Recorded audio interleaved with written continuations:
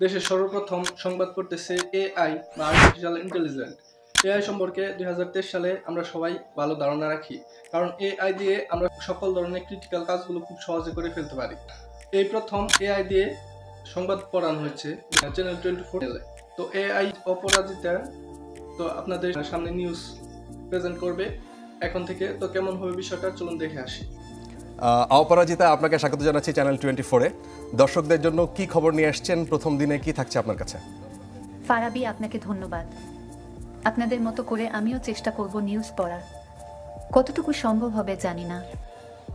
দর্শক, স্বাগত জানাচ্ছি আমি অপরাজিতা। বাংলাদেশের টেলিভিশন ইন্ডাস্ট্রিতে প্রথম আর্টিফিশিয়াল ইন্টেলিজেন্স প্রেজেন্টার হিসেবে থাকছি চ্যানেল টোয়েন্টি ফোরে বিদেশ যাবার টাকা জোগাড় করতে ভাই সেজে কিডনি বিক্রি করেছেন এক যুবক।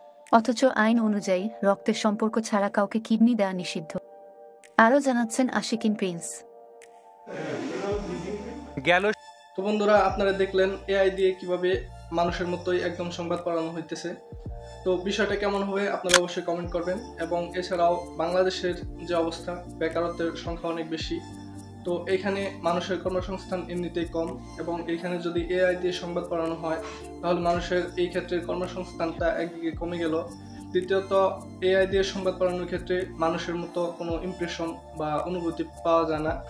এবং পরবর্তীতে কি হবে তা এখনও বলা যায় না। এছাড়াও এআই দিয়ে সংবাদ পড়ানোর ক্ষেত্রটা এটা বাংলাদেশের পরিপ্রেক্ষিতে কতটা ঝুঁকিপূর্ণ বা কতটা ভালো হবে, তো অবশ্যই পরবর্তীতে দেখা যাবে।